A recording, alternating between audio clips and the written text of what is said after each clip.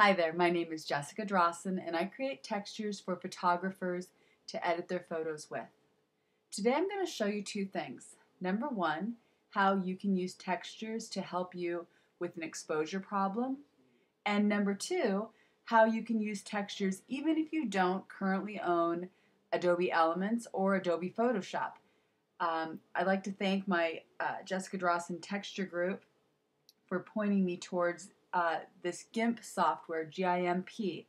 It is a free software program that you can download off the internet for Windows or Macintosh computers, and it works very similar to how Photoshop uh, or Elements works. So um, I certainly don't pretend to be an expert in it, but I am able to get around in it well enough to show you today how you can begin playing with textures in your photos.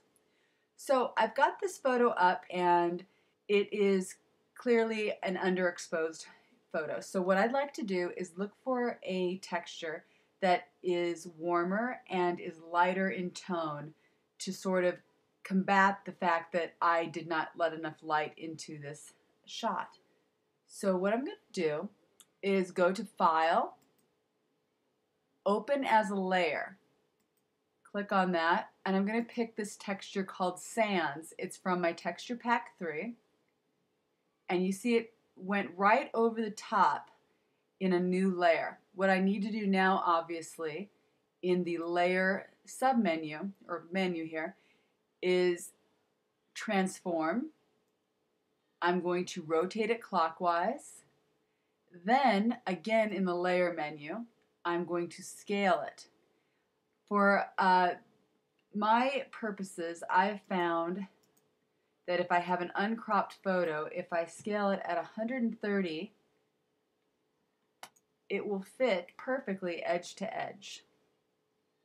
And there we go. Now what I'm going to do is I'm going to get my little eyedropper tool, which is right here, my color picker, and I'm going to pick a very light tone um, because I have an underexposed image. So do you see here where the, the tone just changed to a, a light color from my texture itself? I'm going to use that to paint with. I'm changing my mode here in the layers palette to soft light. Now with a brush, let me find the brush tool. I'm going to actually go ahead and create a new brush. This says new brush right here.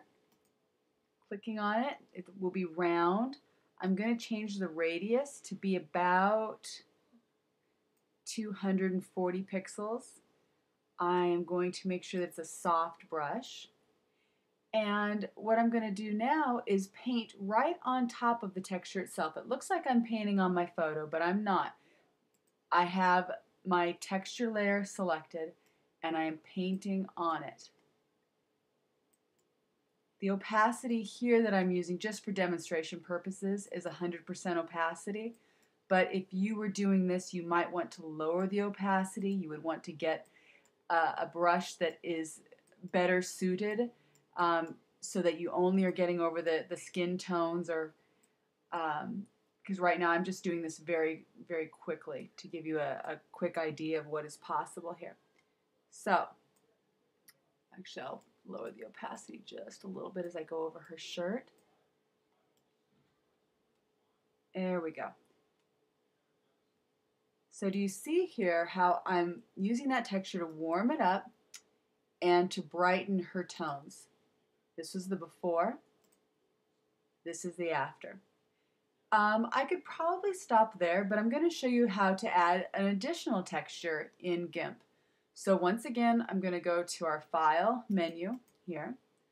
I am going to open as a layer, and this time I'm going to pick Twinkle Warm uh, from the Illuminations pack. I have a texture that is a warm tone and a cool tone in the Illuminations pack. So I am picking the warm version here and I'm going to open it. And once again, I'm going to go to the layer. I am going to hit transform. I'm going to rotate this clockwise. If you see the lighter area up at the top uh, will correspond with where my light source is coming from. Now, if it wasn't, if I had to flip this, I could flip it again in that layer transform mode if I wanted to make it, you know, uh, counterclockwise if, I, if I had the wrong end up, so to speak. So again, what I'm going to do is layer scale 130, 130, hidden scale, so that I have edge to edge. Now you'll note that the color in this texture, Twinkle, is very much um, the same tone as the, the Sands texture that we use from Texture Pack 3. So I'm not going to go ahead and pick another tone to paint over the top of uh, her skin tone with. I'm not going to use this tool again. I, I'm very comfortable with, with reusing the same color. So once again, I'm going to change my mode from normal to soft light. You can see the difference here. Again, it's just a little bit warmer. Uh, this is playing on the flare that I've already got going um, because of the way that this texture twinkle is built to incorporate a little bit of a flare effect.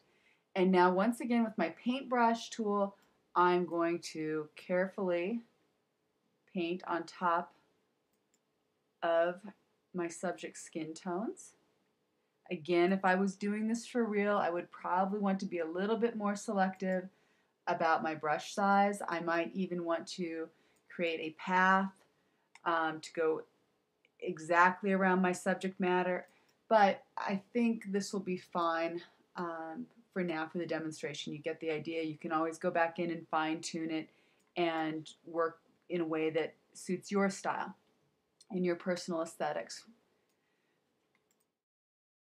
Again, I'll show you the before. This is without the textures. And all we did here was add two textures, Sands from Texture Pack 3 and Twinkle from the Jessica Drossin Illumination Textures Pack. Both are at 100%, both are used in the soft light mode. Thank you so much for being here and seeing my video. I appreciate it. So again, if you don't currently own either Adobe Elements or Photoshop, please check out GIMP. It's a free download. It's a lot of fun. It will get you started if then you want to transfer over to Elements or Photoshop because it, it works in a very similar way. Um, but it's a great way to, to get in and play with textures and not have to spend a lot of money. Thanks a lot. Bye.